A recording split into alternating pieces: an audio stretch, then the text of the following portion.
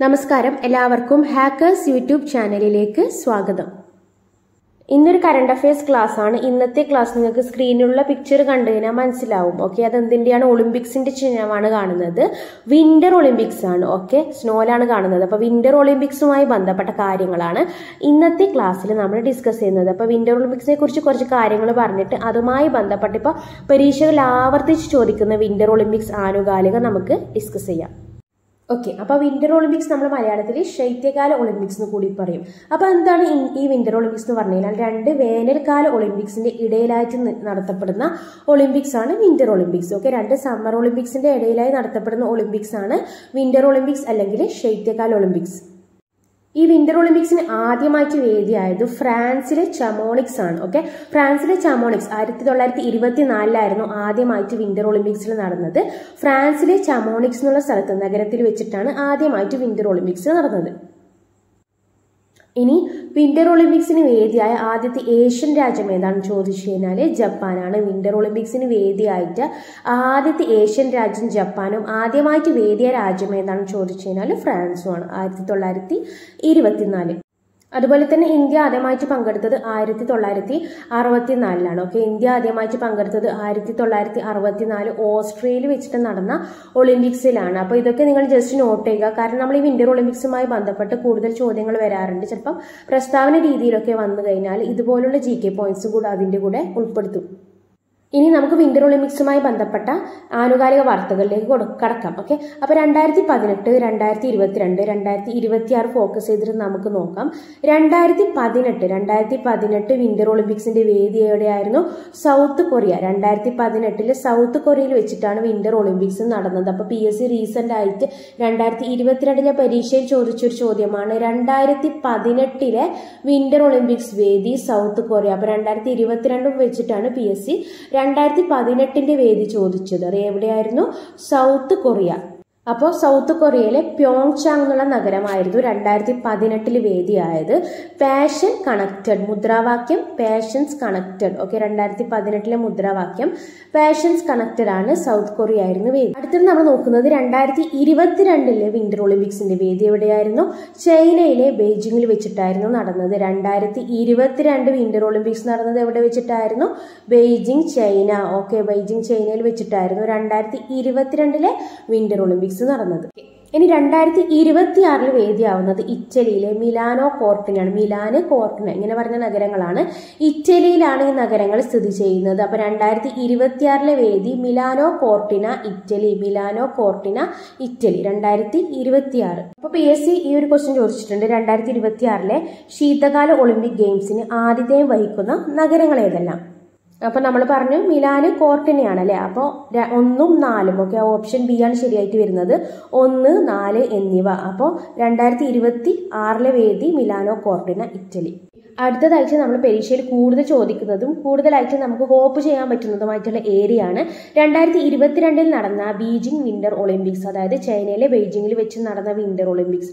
അപ്പോൾ അതിന്റെ ഹൈലൈറ്റ്സിലേക്ക് നമുക്ക് പോകാം. ബെയ്ജിംഗ് രണ്ടായിരത്തി അപ്പോൾ ഈ ബെയ്ജിങ്ങിൽ വെച്ച് രണ്ടായിരത്തി ഇരുപത്തിരണ്ടിൽ നടന്ന വിന്റർ ഒളിമ്പിക്സ് ഔദ്യോഗികമായിട്ട് അറിയപ്പെടുന്നത് twenty four Olympic winter games അതായത് ഇരുപത്തിനാലാമത്തെ പതിപ്പായിരുന്നു ഓക്കെ വിന്റർ ഗെയിംസിന്റെ ഇരുപത്തിനാലാമത്തെ പതിപ്പായിരുന്നു രണ്ടായിരത്തി ഇരുപത്തിരണ്ട് ബെയ്ജിങ്ങിൽ വെച്ച് നടന്നത്. ആയിരുന്നു ഉദ്ഘാടനം ചെയ്തത് ചൈന പ്രസിഡന്റ് ആയിട്ടുള്ള ഷീ ജിങ് പിങ് ഓക്കെ ചൈനയുടെ പ്രസിഡന്റ് ആയിട്ടുള്ള ഷീ ജിങ് പിങ് ആയിരുന്നു രണ്ടായിരത്തി ഇരുപത്തിരണ്ടിലെ ഒളിമ്പിക്സ് ഉദ്ഘാടനം ചെയ്തത്. മുദ്രാവാക്യം ശ്രദ്ധിക്കുക വളരെ ഇമ്പോർട്ടന്റ് ആണ്. Together for a shared future okay together for a shared future എന്നാണ് ഇതിന്റെ മുദ്രാവാക്യം. അപ്പോൾ മുദ്രാവാക്യം ഇമ്പോർട്ടന്റ് ആണ്. രണ്ടായിരത്തി ഇരുപത്തിരണ്ട് ശൈത്യകാല ഒളിമ്പിക്സിന്റെ മുദ്രാവാക്യം together for a shared future അപ്പോൾ ഈ ഒരു മോട്ടോ നമുക്ക് മലയാളത്തിൽ പറഞ്ഞ എങ്ങനെയായിരിക്കും? നല്ലൊരു ഭാവിക്കായി അല്ലേ? പങ്കിട്ട ഭാവിക്കായി ഒരുമിച്ച് ആ ഒരു രീതിയിലായിരിക്കും വരിക. ഇനി അടുത്തത് ഈ ശൈത്യകാല ഒളിമ്പിക്സ്. രണ്ടായിരത്തി ഇരുപത്തിരണ്ട് ശൈത്യകാല ഒളിമ്പിക്സിന്റെ ഭാഗ്യചിഹ്നം എന്ന് പറയുന്നത് വെള്ളപ്പാണ്ടയാണ് ഓക്കെ അപ്പൊ ഈ വെള്ളപ്പാണ്ടയുടെ പേരാണ് ബിഗ് ഡൻ ബിഗ് ഡൻ എന്നറിയപ്പെടുന്ന വെള്ളപ്പാണ്ടയാണ് രണ്ടായിരത്തി ഇരുപത്തിരണ്ട് ശൈത്യകാല ഒളിമ്പിക്സിന്റെ ഭാഗ്യചിഹ്നം.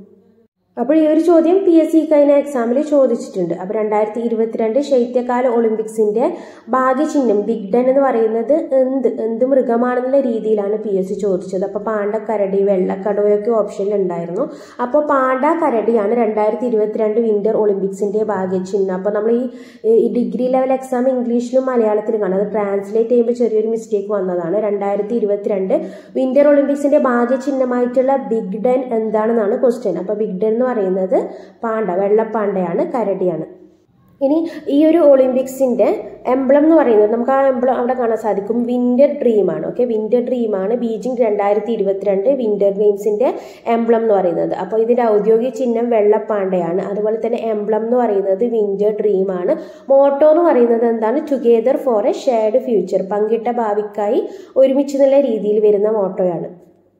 ഏകദേശം നൂറ്റി അൻപതോളം ഇവന്റ്സ് ഉണ്ടായിരുന്നു. അതൊന്നും വേണ്ട. നമുക്ക് പഠിക്കാനുള്ളതിനടുത്തത് ഏറ്റവും കൂടുതൽ മെഡൽ നേടിയ രാജ്യം ഏതാണെന്ന് ചോദിച്ചു കഴിഞ്ഞാൽ രണ്ടായിരത്തി ഇരുപത്തിരണ്ട് ബീജിംഗ് വിന്റർ ഒളിമ്പിക്സിൽ ഏറ്റവും കൂടുതൽ മെഡൽ നേടിയ രാജ്യം ഏതാണ്? നോർവേ ആണ്. ഓക്കെ നോർവേ ആണ് ഏറ്റവും കൂടുതൽ മെഡൽ നേടിയത്. രണ്ടായിരത്തി ഇരുപത്തിരണ്ട് ബീജിംഗ് വിന്റർ ഒളിമ്പിക്സിൽ മെഡൽ പട്ടികയിൽ ഒന്നാമതെത്തിയത് നോർവേ ആണ്. മുപ്പത്തിയേഴ് മെഡലുകൾ മുപ്പത്തിയേഴ് മെഡലോടുകൂടി നോർവേ ആണ് ഫസ്റ്റ് എത്തിയത് അതുപോലെ അതിന്റെ തൊട്ട് താഴെ ജർമ്മനി ചൈന യുണൈറ്റഡ് സ്റ്റേറ്റ്സ് ഒക്കെ ഉണ്ടായിരുന്നു. അപ്പോൾ ഒന്നാമത്തെ രാജ്യം നോർവേ ആണ് മുപ്പത്തിയേഴ് മെഡൽ പിന്നെ ജർമ്മനി ചൈന യുണൈറ്റഡ് സ്റ്റേറ്റ്സ് ആ ഒരു ഓർഡറിലാണ് പോകുന്നത്. അപ്പോൾ ഏറ്റവും കൂടുതൽ മെഡൽ നേടിയ രാജ്യം രണ്ടായിരത്തി ഇരുപത്തിരണ്ട് ശീതകാല ഒളിമ്പിക്സിൽ ഏതാണ്? നോർവേ ആണ് നമ്മൾ ഈ മാധ്യമ സ്വതന്ത്ര സൂചികയില്ല അതിലൊക്കെ ഒന്നാമത് വരുന്ന രാജ്യമാണ് ഈ നോർവേ എന്ന് പറയുന്നത്.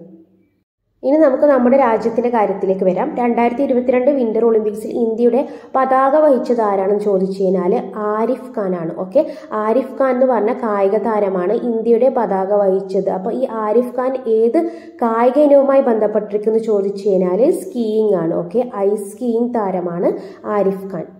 ഇത് വളരെ പ്രധാനപ്പെട്ട പോയിന്റാണ് അതുപോലെ തന്നെ രണ്ടായിരത്തി ഇരുപത്തിരണ്ട് വിന്റർ ഒളിമ്പിക്സ് ഇന്ത്യയിൽ നിന്നും പങ്കെടുത്ത ഏക താരമാണ്. ഓക്കെ ഏക താരം ആരാണെന്ന് ചോദിച്ചു കഴിഞ്ഞാൽ ആരിഫ് ഖാൻ ആണ് അതുപോലെ തന്നെ ഈ ആരിഫ് ഖാൻ എന്ന് പറയുന്നത് കാശ്മീർ സ്വദേശിയാണ്.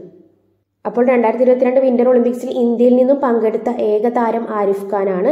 അതുപോലെ തന്നെ ആരിഫ് ഖാൻ മത്സരിച്ചത് സ്ലാലോം ജയന്റ് സ്ലാലോം എന്ന് പറഞ്ഞ സ്കീയിങ് വിഭാഗത്തിലാണ്. ഓക്കെ ഇരുപത്തിനാലാം ശീതകാല ഒളിമ്പിക്സിൽ ഇന്ത്യയുടെ പതാക വഹിച്ചത് ആരാണെന്ന് ചോദിച്ചു കഴിഞ്ഞാൽ ആരിഫ് ഖാൻ.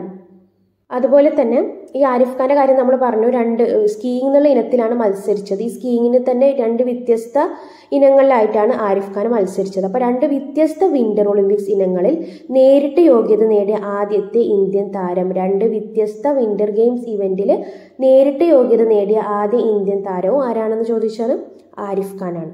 അപ്പോൾ ഈ കഴിഞ്ഞ രണ്ടായിരത്തി ഇരുപത്തിരണ്ടിലെ ഡിഗ്രി മൈൻസ് പരീക്ഷ എടുത്ത് നോക്കിക്കഴിഞ്ഞാൽ വിന്റർ ഒളിമ്പിക്സുമായി ബന്ധപ്പെട്ട ചോദ്യങ്ങൾ ഓൾമോസ്റ്റ് എല്ലാ ചോദ്യ പേപ്പറിലും ഉണ്ടായിരുന്നു ഓക്കെ ഇനി അടുത്തത് നമ്മൾ ഈ ബീജിങ്ങിനെ കുറിച്ച് പറയുകയാണെങ്കിൽ രണ്ടാം തവണയാണ് ചൈനയിലെ ബീജിംഗ് ഇങ്ങനെ ഒരു ഒളിമ്പിക്സിന് വേദിയാവുന്നത്. ഈ രണ്ടായിരത്തി എട്ടിൽ സമ്മർ ഒളിമ്പിക്സിന് വേദിയായതും ചൈനയിലെ ബെയ്ജിംഗ് ആണ് ഓക്കെ അപ്പോൾ അതുകൊണ്ട് തന്നെ ഒളിമ്പിക്സിനും ശൈത്യകാല ഒളിമ്പിക്സിനും വേദിയാകുന്ന ആദ്യ നഗരം ഏതാണെന്ന് ചോദിച്ചാണ് ഏതാണ്?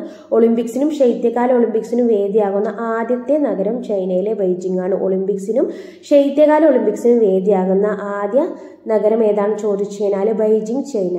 സമയത്ത് തന്നെ നമ്മളെ ഇന്ത്യ ചൈന ഗൽവാൻ താഴ്വേ താഴ്വരയിലുണ്ടായ ഏറ്റുമുട്ടലിനെ തുടർന്ന് ഇന്ത്യ ഡിപ്ലോമാറ്റിക് ബോയ്ക്കോട്ട് നടത്തിയിരുന്നു. അതായത് ഈ ഒളിമ്പിക്സിലെ ഉദ്ഘാടന ചടങ്ങ് അതുപോലെ തന്നെ സമാപന ചടങ്ങിൽ നിന്നും ഇന്ത്യ ഡിപ്ലോമാറ്റിക് ബോയ്ക്കോട്ട് നടത്തിയിരുന്നു. ചൈന ഇന്ത്യ ഏറ്റുമുട്ടലിനെ തുടർന്നിട്ടാണ് ഇങ്ങനെ ഒരു ഡിപ്ലോമാറ്റിക് ബോയ്ക്കോട്ട് ഇന്ത്യ നടത്തിയത്. ഇനി നമുക്ക് കുറച്ചുകൂടി പ്രത്യേകതകൾ നോക്കിയിട്ട് ഈ ക്ലാസ് സ്റ്റോപ്പ് ചെയ്യാം. പുതിയ ഏഴ് ഇവന്റ്സ് കൂടി ഈ ഒരു ഒളിമ്പിക്സിൽ ഉൾപ്പെടുത്തിയിട്ടുണ്ടായിരുന്നു. അതുപോലെ തന്നെ നൂറ് ശതമാനം ഗ്രീൻ എനർജി ഉപയോഗിച്ച് നടത്തിയ ഒളിമ്പിക്സ് ആയിരുന്നു. ഉള്ളത് most gender balance winter games ആയിരുന്നു. വിന്റർ ഗെയിംസ് എവർ ആയിരുന്നു രണ്ടായിരത്തി ഇരുപത്തിരണ്ടിലെ വിന്റർ ഗെയിംസ് അപ്പോൾ ജെൻഡർ ബാലൻസ്ഡ് വിന്റർ ഗെയിംസ് ആണ്. നൂറ് ശതമാനം ഗ്രീൻ എനർജി ഉപയോഗിച്ച് നടത്താൻ തീരുമാനിച്ച ഒളിമ്പിക്സ് ആണ്. ഇന്ത്യ സമാപന ചടങ്ങ് ഉദ്ഘാടന ചടങ്ങ് ഡിപ്ലോമാറ്റിക് ബഹിഷ്കരണം നടത്തിയ ഒളിമ്പിക്സ് ആയിരുന്നു രണ്ടായിരത്തി ഇരുപത്തിരണ്ടിലെ ശീതകാല ഒളിമ്പിക്സ് അപ്പോൾ ഒളിമ്പിക്സും അതുപോലെ തന്നെ ശീതകാല ഒളിമ്പിക്സും കറണ്ട് അഫയേഴ്സിൽ കൂടുതലായിട്ടും ചോദിക്കുന്നത് കൊണ്ടാണ് ഇതൊക്കെ ഒരു ക്ലാസ് ആയിട്ട് തന്നെ എടുത്തത്. അപ്പോൾ നിങ്ങൾ ഇതിനുമായി ബന്ധപ്പെട്ട ഫേമസ് പോയിന്റ്സ് ഒക്കെ ഓർത്തു നോക്കുക. വേദികൾ ഓർത്തു വെക്കുക മോട്ടോ ഓർത്തു വെക്കുക ഭാഗ്യചിഹ്നം ഓർത്തു വെക്കുക. അതുപോലെ തന്നെ മെഡൽ പട്ടികയിൽ മുമ്പിലെത്തിയ രാജ്യം ഓർത്തു വെക്കുക. പിന്നെ ഇന്ത്യയുടെ ആരിഫ് ഖാനെ കുറിച്ചിട്ടുള്ള കാര്യങ്ങളും ഓർത്തു വെക്കുക. ഫ്രണ്ട്സ് അപ്പോൾ ഇതുമായി ബന്ധപ്പെട്ട പോസ്റ്റും കാര്യങ്ങളൊക്കെ നിങ്ങളുടെ current affairs Telegram channel available ആണ്. ടെലിഗ്രാം ചാനൽ ജോയിൻ ചെയ്യാൻ വേണ്ടി ഡിസ്ക്രിപ്ഷൻ ബോക്സിലെ ലിങ്കിൽ ക്ലിക്ക് ചെയ്താൽ മതി. അല്ലെങ്കിൽ സി എ ഹാക്കേഴ്സ് എന്നുള്ള ടെലിഗ്രാമിൽ സെർച്ച് ചെയ്താലും നിങ്ങൾക്ക് ജോയിൻ ചെയ്യാൻ പറ്റും. ഓക്കെ വീഡിയോ ഹെൽപ്ഫുൾ ആയി തോന്നിയെങ്കിൽ ലൈക്ക് ചെയ്യുക ഷെയർ ചെയ്യുക സപ്പോർട്ട് ചെയ്യുക. താങ്ക്